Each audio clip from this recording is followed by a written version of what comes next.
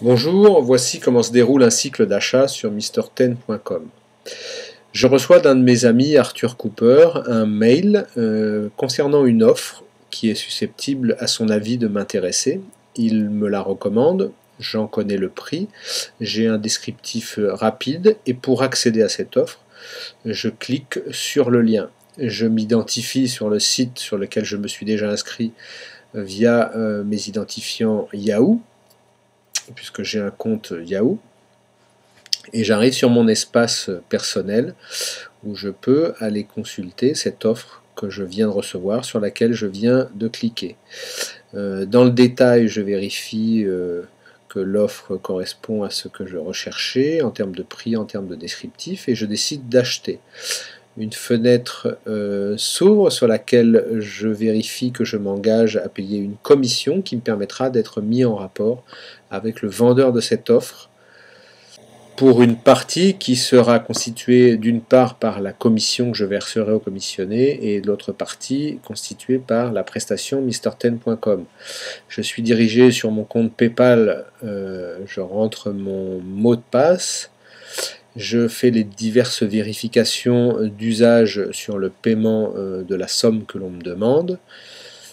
Euh, je vérifie que la carte bleue est bien la mienne euh, et j'accepte de, continuer et je valide mon paiement donc sur MrTen.com du montant de la commission pour être mis en rapport avec le vendeur. Voilà qui est fait.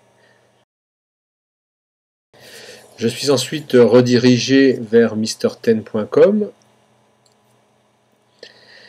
où je vais pouvoir vérifier dans le tableau d'activité que je suis bien l'acheteur de cette offre, effectivement, Yvon Rousset, qu'Arthur Cooper en est bien euh, le commissionné, et le vendeur, je vais vérifier sur mon compte, en cliquant sur mes derniers achats, que euh, le site m'a bien envoyé l'identité du vendeur. Et quand je regarde mes derniers achats, effectivement j'ai l'information du vendeur à droite et à gauche euh, les factures correspondant au règlement que je viens de faire, euh, la partie commissionnée et la partie prestation MrTen.com. Je peux télécharger ou consulter à partir de mon espace personnel sur MrTen.com les deux factures qui, qui correspondent 31,50€ à la commission réservée au commissionné qu'avait choisi l'acheteur et la partie euh, prestation de mise en relation euh, que facture le site MrTen.com en l'occurrence 21 euros hors taxe.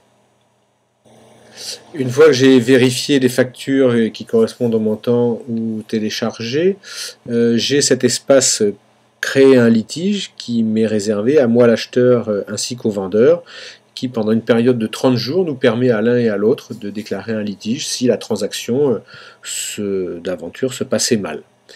Je vais aller sur le mail du vendeur euh, à qui le site MrTen.com a envoyé un mail en lui disant qu'un acheteur s'est engagé en payant la commission et en lui donnant son identité, ici YR Holding.